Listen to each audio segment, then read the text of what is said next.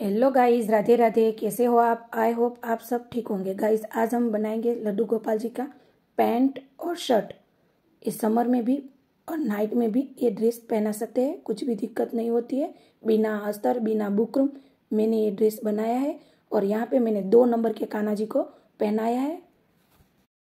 इसको पहनाना भी बहुत ही ईजी है। गाइज़ मैंने और भी बहुत सारे लड्डू गोपाल जी के ड्रेस के, ज्वेलरी के कुकिंग के हैंडवर्क के टीचिंग के वीडियोज़ बनाए। अगर आप देखना चाहते हैं तो आप मेरी चैनल पर जाकर भी देख सकते हैं, या तो चैनल की लिंक डिस्क्रिप्शन बॉक्स में रख दूँगी। तो देखिएगा इस कैसे लग रहे मुझे कमेंट करके ज़रूर बताना। और ज़्यादा पसंद आया हो तो अपने मित्रों में वीडियो को ज़रूर शेयर करना, लाइक करना, सब्सक्राइब करना। ये ड्रेस हम ज़ीरो, वन, टू, थ्री को आसानी से पहना सकते हैं, कुछ भी दिक्कत नहीं होती है। तो चलिए वीडियो को स्टार्ट करते हैं। तो यहाँ पे मैंने कॉटन की स्ट्रिप ली है। तो इसकी लंबाई है सेवन इंचिस और चौड़ाई इसकी टू पॉइंट फाइव इंचिस है। इसी तरह से मैंने दूसरी भी एक स्ट्रिप ली है तो इसकी लंबाई भी सेवन इंचिस और चौड़ाई इसकी टू पॉइंट फाइव इंचिस है।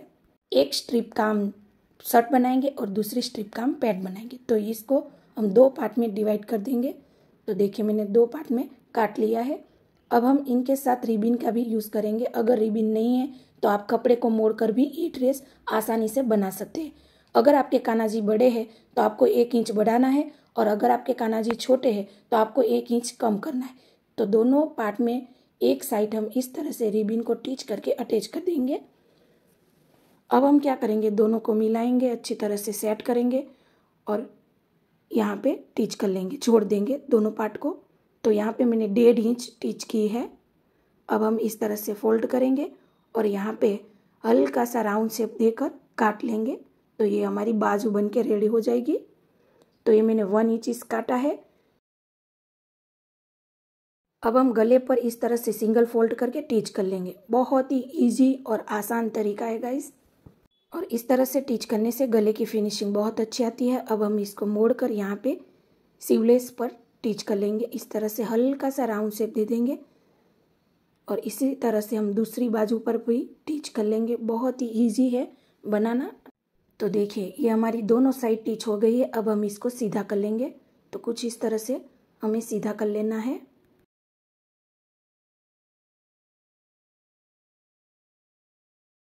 यानी कि हमें पलट लेना है। तो देखिए, ये हमारा पलट गया है। अब नीचे की तरफ़ भी हम रिबिन का ही यूज़ करेंगे। आप चाहो तो कपड़े को मोड़ कर भी यहाँ पे टीच कर सकते हो।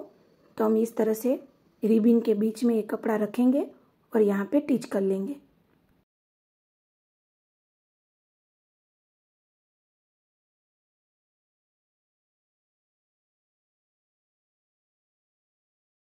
तो ये हमारा प्यारा सा समर शर्ट बन के रेडी है। इसको हम नाइट में भी पहना सकते हैं। तो देखिए गाइज़ आप चाहो तो पीछे वेलक्रो भी अटैच कर सकते हो प्रेस बटन भी अटैच कर सकते हो। अब हम बनाएँगे पैंट एक साइड हम रिबिन को टीच करके अटैच कर देंगे। पाइपिंग जैसे दिखेगा, देखिए कुछ इस तरह से टीच करेंगे तो बहुत ही प्यारी सी पाइपिंग बन जाएगी।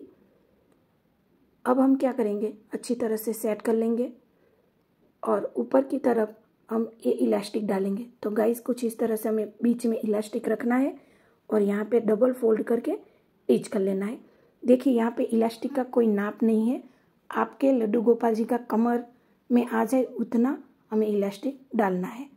तो अब मैंने इलास्टिक साथ में ही डाल दिया है। आप चाहो तो पहले नेफा बनाकर भी डाल सकते हो। अब हम खींच लेंगे।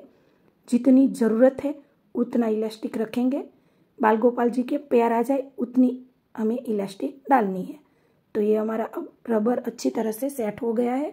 अब हम दोनों किनारों पर इस तरह से जोड़कर टीच कर लेंगे। तो ये हमारी टीच हो गई है। एक्स्ट्रा धागा, कपड़ा और रबर काट लेंगे और अच्छी तरह से कपड़े को सेट कर लेंगे। और जहाँ पे हमने जॉइंट लगाया है ना उसको हम बीच में इस तरह से रखेंगे। अच्छी तरह से और वी शेप में नीचे की ओर हम टीच कर लेंगे। बहुत ही इजी और सिंपल तरीका है इस तरह का पैड बनाने का। तो मैंने ज़ीरो पॉइंट फाइव इंच पर टीच किया है और बीच का मैंने कट कर लिया है। अब हम इसको सीधा कर लेंगे। तो कुछ इस तरह से हमें सीधा करना है। तो गाइज़ ये हमारा प्यारा सा पैंट बन के रेडी है।